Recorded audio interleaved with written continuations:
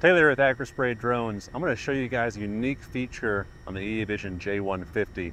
It's called reverse operation speed. Now I've got it turned on right now. As you can see on my screen, we've got operation speed, which is like we normally have, your flight speed, your spraying speed. Then below that we have reverse operation speed.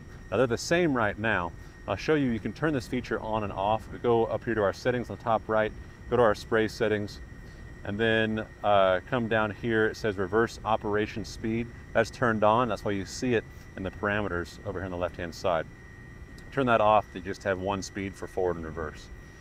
So what this does is it puts a little line on the screen here. You can see a little green line on the screen. That's your forward line. So whatever, wherever you start spraying, that is your forward pass.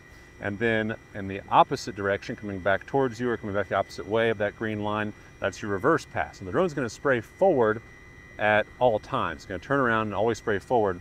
But on the reverse operation, you can change that speed. Why would you wanna do that? Well, just in case uh, you are spraying into the wind one way, against the wind another way, that might change your pattern or change your swath because the wind's pushing your swath back.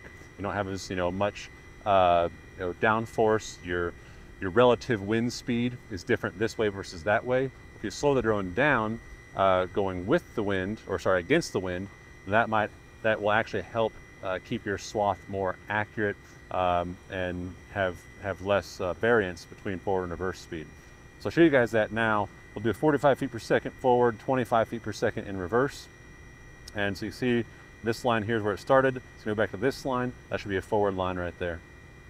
We'll hit confirm, hit takeoff.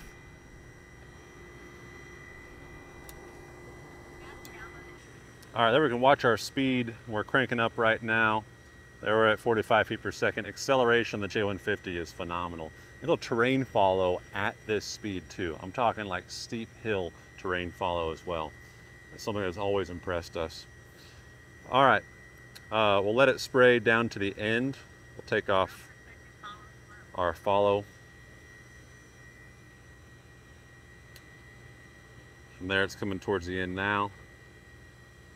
Slowing down, turning around.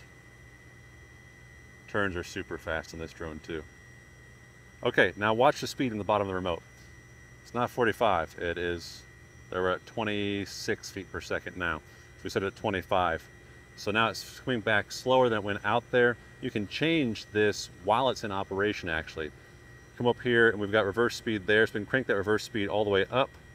Hit confirm. And there, now it's cranking back up to 45.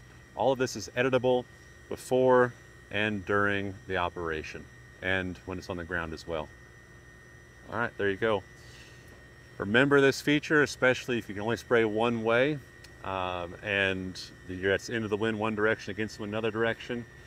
That might actually help reduce burning of the crop and help increase consistency of coverage. Let us know if you guys have any questions. Thanks.